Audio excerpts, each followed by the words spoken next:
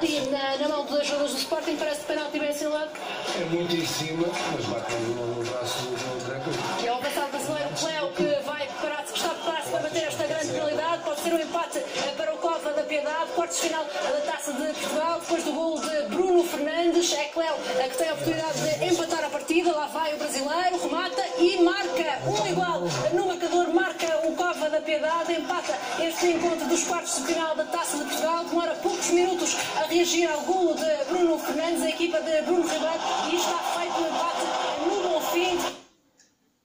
Convertido por Cléo, um jogador brasileiro, experiente jogador deste Cova da Piedade, um jogador que já foi duas vezes campeão na China pelo Guangzhou Evergrande e duas vezes campeão na Sérvia pelo Partizan. Está feito o empate, Fernando Mendes, neste lance de opinião, bem assinalado, era o que tinha perguntado. É bem assinalado, bem assinalado, assinalado. Acho que não é, não, o Sporting estava a fazer para merecer a, a, a vantagem, mas acaba por merecer este gol.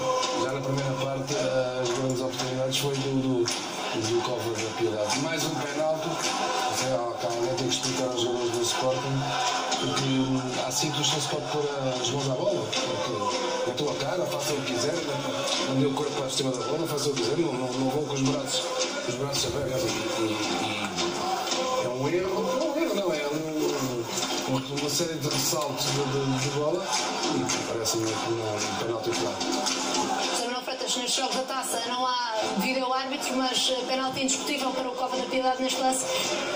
Mais que penalti, acho que o resultado neste momento está correto. Vamos ver se a partir agora acontece mais alguma coisa de bom, Sporting tinha ganho vantagem num gol muito fortuito